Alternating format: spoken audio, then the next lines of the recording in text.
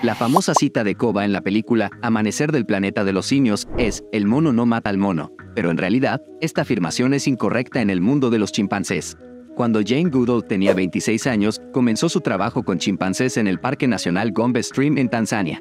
Durante sus observaciones, descubrió que los chimpancés tenían la capacidad de hacer y utilizar herramientas de hierba y ramitas, lo que fue sorprendente para la época. Sin embargo, lo que la dejó atónita fue descubrir que los chimpancés cazaban, mataban y comían sistemáticamente a primates más pequeños como el mono colobo. Este comportamiento violento y agresivo iba en contra de la creencia popular en ese momento de que los chimpancés eran pacíficos y vegetarianos.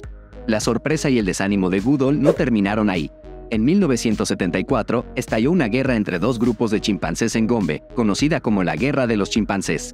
Todo comenzó cuando seis hombres de una comunidad emboscaron a un macho rival y lo mataron.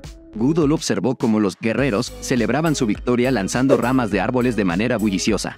La guerra duró cuatro años y se extendió a comunidades periféricas de chimpancés a medida que los territorios ocupados cambiaron y se superpusieron. Hubo brutalidad, asesinato y secuestro generalizados.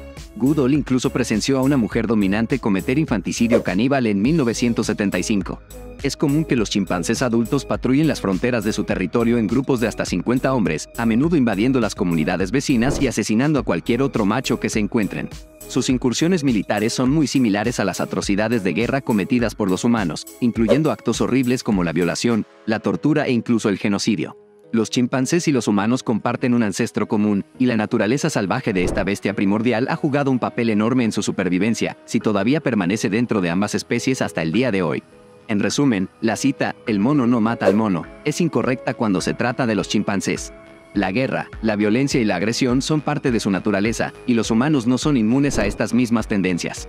La investigación de Jane Goodall ha ayudado a comprender mejor la complejidad de la vida de los chimpancés y cómo nuestras similitudes y diferencias están estrechamente relacionadas con nuestro pasado evolutivo.